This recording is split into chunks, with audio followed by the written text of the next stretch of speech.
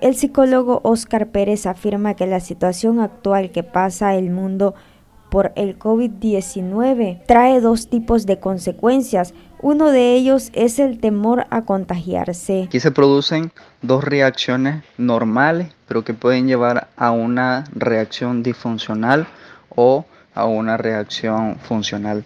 En este caso es el miedo y la ansiedad que produce el contagiarse, porque yo pienso, me puedo contagiar a mí, puedo contagiar a mi familia o puedo este, decir, eh, me puedo frustrar y, y puedo decir, no puedo hacer lo que siempre hago por temor a contagiarme.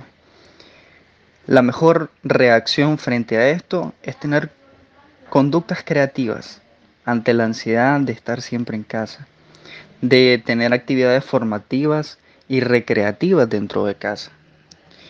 Y ante la frustración es importante ser paciente y generar nuevos hábitos. ¿Qué quiere decir eso?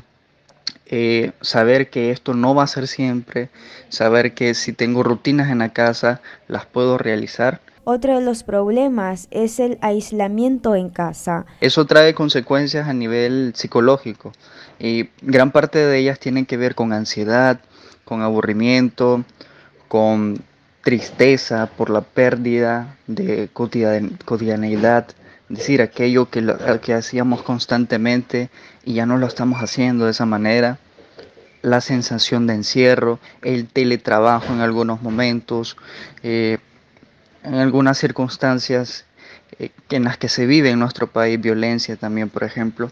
Ante estas situaciones es importante tomar en cuenta eh, que las redes de apoyo son un mecanismo de defensa bastante amplio y grande que debemos de tomar. A eso va incluido las personas con las que podamos contactar vía telefónica, vía WhatsApp, los números de, de, emergencia de quienes de las instituciones que consideremos oportunas llamar en ese momento.